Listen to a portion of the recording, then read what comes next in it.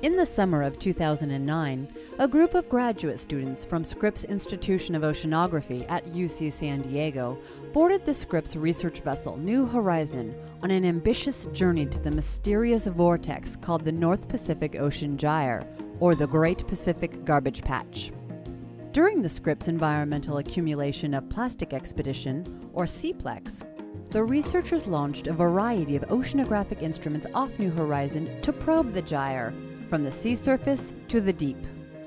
These instruments included nets of varying sizes that captured biological specimens, as well as a range of plastic fragments that have accumulated in the gyre for later laboratory analysis.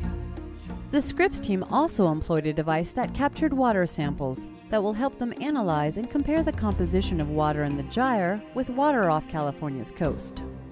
The researchers deployed a small boat off New Horizon to get an up close look at the floating debris in the gyre, including a shocking mass of tangled debris that measured approximately 12 feet and included a ghost net with rope, plastic, and various biological organisms.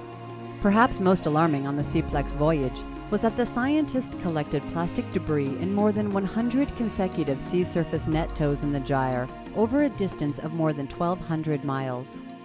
Among the debris encountered on the journey were plastic bottles with attached barnacles, an assortment of containers, large sections of plastic, and by far the most numerous, small fragments of broken down plastic.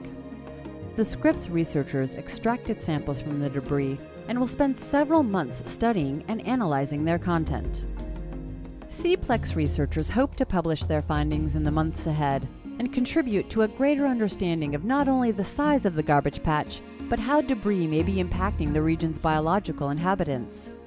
Future research cruises to the North Pacific Ocean Gyre are needed to add to the initial findings of SEAPLEX, and plans are in the works for a visit to the South Pacific Ocean Gyre, an area even more mysterious than its northern counterpart. Read more about the voyage at sio.ucsd.edu slash expeditions slash SEAPLEX.